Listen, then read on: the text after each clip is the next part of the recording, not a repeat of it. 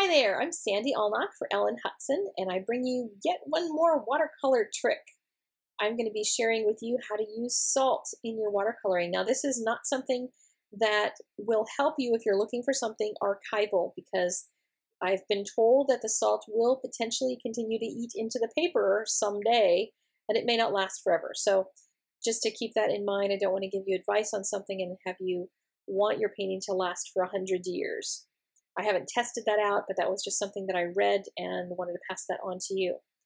So I'm starting by painting a color with a, a nice flat wash into an area that I want to put the salt in.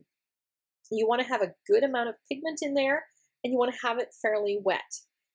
I would recommend if you want to use this technique, go try a couple swatches of different colors and see which ones work. I, as I was practicing this and preparing for this video, I tried a lot of colors and some didn't work as well as others. I don't know whether it's always because I, I wasn't consistent in the amount of pigment versus the amount of water, uh, when I put the salt on, how long I waited to take it off. There's a lot of different factors, but I just recommend that you give it a shot and see. It's really fun to watch this effect happen too. I'm just sprinkling table salt on. It's regular old iodized table salt. Just sprinkle, sprinkle a little bit of it here and there.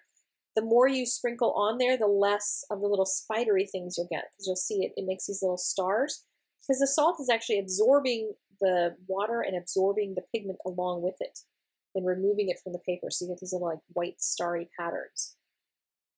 I'm going to do a green pattern down here um, in this bottom section. And again, I'm just going to do a nice solid wash. And my brush is fully loaded with the color that I mixed up with this green. So that just in case I end up pressing my brush down, the only thing that's going to come out is more of the same color as opposed to a lot of water and then I'd get a lot of blooming. So I just want to reiterate that because a lot of people have been excited to find out that there is a way to do a better flat wash. And this one may not look really flat right now. I'm just going to move some color around because I'm going to be doing this pattern in it. So uh, I moved the color around until it was relatively even. And then I wanted to do just a swash through this of salt instead of salt everywhere. So I wanted to show you both different looks. And uh, let's sprinkle that across. And you can watch immediately as that salt gets to working. And it's been a, a, little minute there while I was preparing this other piece so you can see what the salt is doing on both the red and the green piece. This one is a little square of blue and it's going to be on my little swatch packet that I'm making. You could do these little swatches in two by two sheets, little plastic sheets, or you could put them on a ring like I'm doing and there's information on the blog for how to download a little piece to put on the back of your little sheets so you can have little swatch sheets to remind yourself of what we're learning. I'm using both the regular table salt and some larger salt. There's all different kinds of sea salts and things, and you can get different patterns from them based on the size of the salt.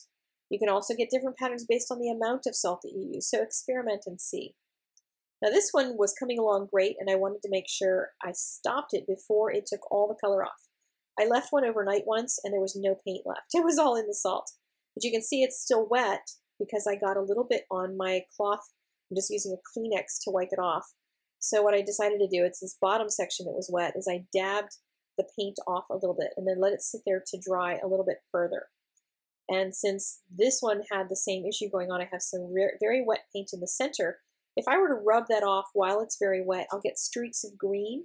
If you think about it, that salt is full of paint. So you want that to be on the dry side before you remove it. And then you'll just rub it off or brush it off. So here's the infographic that you can go and pin to your Pinterest board. It's on the blog. Link is in the description down below. Make yourself a little swatch sheet for your collection. And I will see you guys again next week. Thank you so much for joining me. Bye-bye.